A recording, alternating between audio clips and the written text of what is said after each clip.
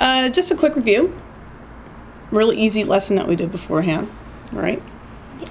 Uh, if you take a look at a decimal, uh, such as this, which, by the way, I'd like you to eventually read out loud to me. Are you ready? Mm-hmm. All right, Master Dylan. What is this decimal? Zero and two two hundred thirty-two thousandths. Bellissima. Excellent. F- finesse style, you've got it. Now, I'd like you to tell me how does one take a decimal and convert it into a percent? You get the decimal number and you multiply it by hundred, and that would move the decimal um, point over two. That is the basis for moving the decimal point. Mhm. You understand that we're multiplying it by 100, Yeah. and thus this would be 23 and 2 tenths percent. Yeah. So, let's say you had never seen this before, and you see a percent number, Mm-hmm. and you would like to convert that into A decimal. a decimal. Instead of multiplying by 100, We divide, you're going to divide by 100, right? and that's the opposite. So, when you divide by 100, you move it two spaces backward. which we've learned through our decimal lessons, Yeah. right? One, two. And we put a zero here, remove the percent sign, and Okay. that is the decimal. Cool. Okay. So what I'd like you to do is to consider this challenge. Okay. You ready? I would like you to take the number 52% and I would like you to convert it into a decimal. Please do the honors. Okay. Fifty-two. Mm-hmm.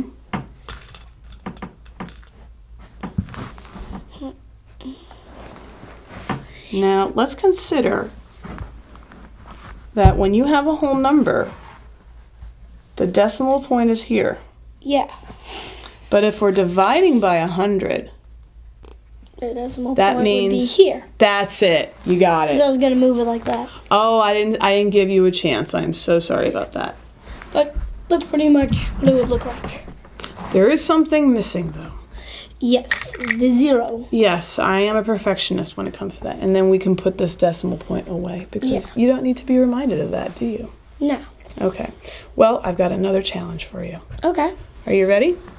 Yeah. Here we go. I would like you to give me the decimal number of 2%. Okay.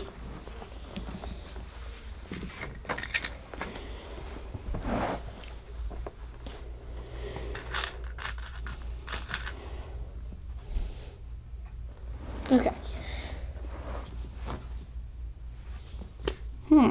And then That would be correct if we were dealing with 20%.